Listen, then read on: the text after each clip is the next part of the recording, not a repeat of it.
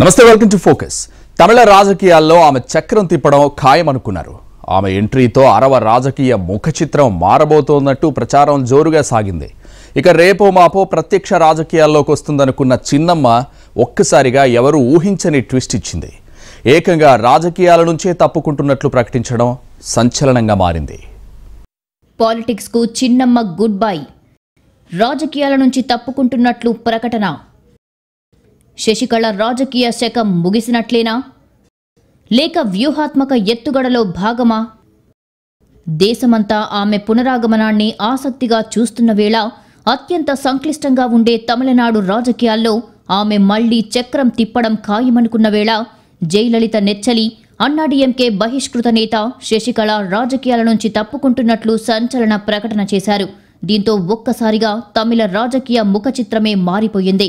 మొన్నటి వరకు అన్నాడీఎంకేకు చిన్నమ్మ చుక్కలు చూపిస్తుందని భావించిన వారందరికీ శశికళ నిర్ణయం షాక్కి గురిచేసింది అక్రమాస్తుల కేసులో నాలుగేళ్ళుగా జైలు శిక్ష అనుభవించి గత నెల ఎనిమిదిన బెంగుళూరు పరప్పన అగ్రహార జైలు నుంచి శశికళ విడుదలయ్యారు. బెంగుళూరు నుంచి తమిళనాడుకు వెళ్ళిన సందర్భంలో దాదాపు ఇరవై మూడు గంటల పాటు రోడ్ షో నిర్వహించి అట్టహాసంగా ఎంట్రీ ఇచ్చారు. దీంతో తన బలాన్ని ఏమాత్రం తక్కువగా అంచనా వేయకండంటూ అటు కేంద్ర పెద్దలకు ఇటు అధికార అన్నాడీఎంకేకు గట్టి సంకేతాలు పంపించారు. దీంతో అందరి దృష్టి ఆమె వైపే మళ్ళింది ఇదే సమయంలో అసెంబ్లీ ఎన్నికల్లో చిన్నమ్మ పాత్ర ఎలా ఉంటుందనే దానిపై పెద్ద ఎత్తున ఊహాగానాలు వచ్చాయి. ఎలాంటి సంచలనానికి కేంద్ర బిందువు అవుతారోనని ఆసక్తికరంగా చర్చించుకున్నారు. జైలు నుంచి విడుదలై తమిళనాట అడుగుపెట్టిన తర్వాత కొన్ని రోజుల పాటు శశికళ బిజీ బిజీగా గడిపారు. మొదటి కొన్ని రోజుల పాటు ఆమెను కలవడానికి పలువురు నేతలు క్యూ కట్టారు. దీంతో అన్నాడీఎంకేలో కలవరం మొదలయ్యింది. కానీ కొన్ని రోజులకే పరిస్థితి పూర్తిగా మారిపోయింది. తనపై ప్రజల్లో సానుభూతి ఉందని భావించిన శశికళ దాన్ని అనుకూలంగా మలుచుకోవాలని భావించారు. అన్నాడీఎంకే ఎన్నికల గుర్తు కోసం కూడా ఆమె పోరాటం చేశారు. ఈ అంశంపై ఈసీకి ఫిర్యాదు చేశారు. న్యాయస్థానంలోనూ పిటిషన్ దాఖలు చేశారు. ఈ పరిణామాల నేపథ్యంలో తనను పార్టీ నుంచి సస్పెండ్ చేసి తన తీరని కోరిక అయిన సీఎం పదవికి అడ్డు తగిలిన పళనిస్వామి పన్నీర్ సెల్వంపై పగ తీర్చుకోవడానికి గట్టిగానే సిద్ధమవుతున్నారని అందరూ భావించారు. అన్నాడీఎంకేకు వ్యతిరేకంగా ప్రచారం చేస్తారా? లేక తన మేనల్లుడు దినకరణ్ స్థాపించిన కొత్త పార్టీలోకి వెళ్తారా అని ఆసక్తిగా చర్చించుకున్నారు. ఇక ఆమె ఎన్నికల్లో పోటీ చేయకుండా మరో ఆరేళ్ళు నిషేధం ఉండటంతో ఎవరికి మద్దతు ఇస్తారనే దానిపై కూడా అంతా లెక్కలు వేసుకున్నారు. ఇలాంటి తరుణంలో ఆమె పూర్తిగా రాజకీయాలకే వీడ్కోలు పలకడం సామాన్యులతో పాటు రాజకీయ విశ్లేషకులను సైతం ఆశ్చర్యానికి గురిచేసింది శశికళ సడన్గా ఇలాంటి షాకింగ్ నిర్ణయం తీసుకోవడానికి కారణం ఏంటి? బీజేపీ వ్యూహంలో భాగంగానే శశికళ తాజా రాజకీయ నిర్ణయమా? బీజేపీ పెద్దల నుంచి చిన్నమ్మకు స్పష్టమైన హామీ లభించిందా? అయితే చిన్నమ్మ ఇంతలా షాక్ ఇవ్వడానికి బలమైన కారణాలు లేకపోలేదని చెప్పుకోవాలి. ముఖ్యంగా తనకు బలం బలగం ఉన్నా అధికారంలోకి వచ్చే పరిస్థితులు ప్రస్తుతం తమిళనాడులో లేదనే అంచనాకు చిన్నమ్మ వచ్చినట్లు తెలుస్తోంది. ఇప్పటికే అన్నాడీఎంకే బీజేపీ పీఎంకే ఒక కూటమిగా ఉండగా డిఎంకే కాంగ్రెస్ ఒక కూటమిగాను కమల్ హాసన్ శరత్ కుమార్ మూడో కూటమిగాను బరిలో ఉన్నారు. ఒకవేళ మేనల్లుడు దినకరన్ పార్టీతో బరిలో దిగితే ఓట్లు చీలి అది డిఎంకే అధికారంలోకి రావడానికి రాచమార్గం వేసినట్లు అవుతుందని చిన్నమ్మ అంచనా వేసిందట. ఇదే సమయంలో ఎన్నికలకు పది రోజుల్లో నామినేషన్లు నెల రోజులే ఎన్నికలకు సమయం ఉండటంతో వాట్ నెక్స్ట్ అనే ఆలోచనకు శశికళ వచ్చినట్లు తెలుస్తోంది. ఇప్పటికే రజనీకాంత్ను సైడ్ చేసిన బీజేపీ శశికళను సైతం అన్నాడీఎంకే వైపు మళ్ళించే ప్రయత్నాలు చేసింది. అందులో భాగంగానే ఏ ఎంఎంకే పార్టీని అన్నాడీఎంకేలో విలీనం చేసుకోవాలంటూ తమిళనాడు ముఖ్యమంత్రి పళనిస్వామి ఆ party general secretary Panneer Selvam మీద కేంద్రంలోని అధికార బీజేపీ ఒత్తిడి చేసినట్టు కూడా ప్రచారం జరిగింది. ఇటీవల కేంద్ర హోంమంత్రి అమిత్ షా పర్యటనలో దానికి బీజం పడిందని చెబుతున్నారు. శశికళకు దక్షిణాది తమిళనాడు బలమైన పట్టుంది. ఎన్నో ఎన్నికలను జయ వెనక నుండి నడిపించిన చరిత్ర శశికళది. ఒకవేళ ఆమె దినకరంతో కలిసి ఎన్నికల్లో బరిలో ఉంటే అన్నాడీఎంకే కూటమికి భారీ నష్టం తప్పదు. అందుకే తమిళనాడులో అన్నాడీఎంకే బీజేపీ కూటమి గెలవాలంటే చిన్నమ్మ పార్టీని కూడా విలీనం చేసుకోవాలని అమిత్ షా ఒత్తిడి చేశారనే టాక్ వినిపించింది. అలా శత్రువులు శత్రువులు కలిసి మిత్రులుగా మారారని అంటున్నారు రాజకీయ విశ్లేషకులు. దీంతో అలా అమిత్ షా తమిళనాడు పర్యటన ముగించుకొని వెళ్ళారో లేదో ఇలా శశికళ ప్రకటన చేసిందని అంటున్నారు. ప్రకటనలో సైతం తాను ఏ పదవి చేపట్టడానికి రాలేదని రెండు పేజీల లేఖను విడుదల చేశారు. జయలలిత బతుకుండగా తాను ఏ పదవి చేపట్టాలని అనుకోలేదని ఆమె మరణాంతరం కూడా అదే విధంగా కొనసాగాలని అనుకుంటున్నట్లు తెలిపారు. అన్నాడీఎంకే కార్యకర్తలు ఒక్కటిగా పోరాటం చేసి డీఎంకేను ఓడించాలని కోరారు. అంతేకాదు నాకు మద్దతు ఇచ్చిన ప్రతి ఒక్క కార్యకర్తకు ధన్యవాదాలు అంటూ క్యాడర్కు సెంటిమెంట్తో లేఖను వదిలారు శశికళ. ఎంతో రాజకీయ చతురత కలిగిన శశికళ రాజకీయాల నుంచి తప్పుకోవటానికి కారణం బీజేపీ ఇచ్చిన ఆఫరే అనే మాటలు వినిపిస్తున్నాయి. అల్లుడు దినకరన్కు అన్నా డీఎంకేలో ఎంట్రీకి లైన్ క్లియర్ చేస్తామని బీజేపీ పెద్దలు ఇచ్చిన మాటకు శశికళ ఒప్పుకున్నారని అంటున్నారు.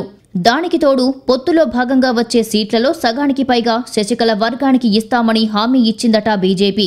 ఇక అల్లుడు దినకరణ్ ఏ ఎంఎంకే పార్టీని అన్నాడీఎంకేలో విలీనం చేయడమో లేక పొత్తు పెట్టుకోవడమో కూడా త్వరలో జరుగుతాయని భావిస్తున్నారు. టీటీవీ దినకరణ్ సైతం శశికళ ప్రకటనపై పెద్దగా స్పందించడానికి ఇష్టపడలేదు. కేవలం చిన్నమ్మ అన్నాడీఎంకే పార్టీ క్యాడర్ మొత్తం ఒక్కటి ఉండాలని కోరారు. అది మంచి నిర్ణయమేగా అంటూ సైలెంట్ అయ్యారే తప్ప తన పార్టీ ఎన్నికల బరిలో ఉంటుందా ఉండదా అన్నదానిపై మీడియా ప్రశ్నలకు సమాధానం దాటవేశారు. ఇలా బీజేపీ ఆలోచనలకు చిన్నమ్మ గేమ్ ప్లాన్ తోడు కావడంతో శశికళ ఇలాంటి సంచలన నిర్ణయం తీసుకుందని చెబుతున్నారు రాజకీయ విశ్లేషకులు. శశికళ నిర్ణయంతో తమిళనాడు రాజకీయ ముఖ చిత్రం ఎలా ఉండబోతోంది? రాబోయే ఎన్నికలు డిఎంకేకు ఇబ్బందిగా మారబోతున్నాయా? అసలు తమిళనాడు పాలిటిక్స్పై శశికళ నిర్ణయం ఎలాంటి ప్రభావం చూపనుంది? శశికళ ప్రకటన అన్నాడీఎంకే బీజేపీ పీఎంకే కూటమికి బూస్ట్ తీసుకొస్తే ఈ ఎన్నికల్లో అధికారం గ్యారంటీ అనే ధీమాగా ఉన్న ప్రతిపక్ష డీఎంకేకు మాత్రం ఊహించని షాక్ తగిలినట్లయింది. ఇన్నాళ్ళు అన్నాడీఎంకే విభేదాలు తమకు కలిసొస్తాయని డీఎంకే భావించింది. జైలు నుండి బయటకు వచ్చిన శశికళ దినకరంతో కలిసి వెళ్తుందని దీనివల్ల ఓట్లు చీలి తమకు గెలుపు గ్యారంటీ అనుకున్న స్టాలిన్కు శశికళ రాజకీయ సన్యాసం మైండ్ బ్లాక్ అయ్యేలా చేసింది. గత ఎన్నికల్లో అన్న అళగిరి కారణంగా అధికారం కోల్పోయిన డీఎంకే ఈ ఎన్నికల్లో ఎలాగైనా సత్తా చాటుతామని భావించింది. రజనీకాంత్ శశికళ కమల్ హాసన్ అన్నాడీఎంకే లాంటి నాలుగు కూటముల వల్ల ఓట్లు పూర్తిగా డైవర్ట్ అవుతాయని మన ఓటు బ్యాంకు మాత్రం ఎక్కడికి పోదని ఇన్నాళ్ళు సంతోషంగా ఉన్నారు డీఎంకే నేతలు. అయితే రజనీకాంత్ రూపంలో స్టాలిన్కి తొలి దెబ్బ తగలగా ఇప్పుడు శశికళ రూపంలో రెండో దెబ్బ తగిలింది. శశికళ రాజకీయాల నుంచి తప్పుకోవడంతో అన్నాడీఎంకే కూటమి మరింత బలంగా మారిందంటున్నారు పొలిటికల్ అనలిస్టులు. మరోవైపు అన్న అళగిరి కూడా డీఎంకే ఓటమే లక్ష్యంగా పనిచేయడం ఆ పార్టీకి మరింత మైనస్గా మారింది. ఇలా తమిళనాడు రాజకీయాలు అధికారమే లక్ష్యంగా ట్విస్టుల మీద ట్విస్టులతో సాగిపోతున్నాయి. నిన్న మొన్నటి వరకు తమిళనాడులో పార్టీల మధ్య బహుముఖ పోటీ తప్పదని అంతా భావించారు. ఇప్పటికే కమల్ హాసన్ పార్టీ స్థాపించి రాజకీయాల్లో దూకుడు పెంచారు. ఆ తర్వాత రజనీకాంత్ కూడా రాజకీయ రంగ ప్రవేశానికి అంతా సిద్ధం చేసుకున్నారు.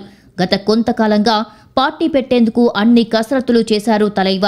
కానీ పార్టీ ప్రకటన చేస్తామన్న కొన్ని రోజుల ముందు అనారోగ్యానికి గురైన రజనీకాంత్ కుటుంబ సభ్యులు అతని సన్నిహితుల సూచనలతో రాజకీయాలకు దూరంగా ఉండాలని నిర్ణయించుకున్నారు. దీంతో రజనీకాంత్ రాజకీయ ఎంట్రీకి పులి స్టాప్ పడింది.